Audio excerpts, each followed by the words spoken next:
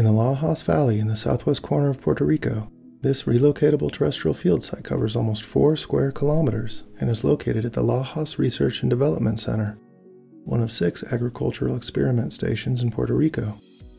A 26 foot tall flux tower is surrounded by pasture, grassland, and mixed agricultural crops. Field scientists also collect field observations of plants, animals, soils, and microbes.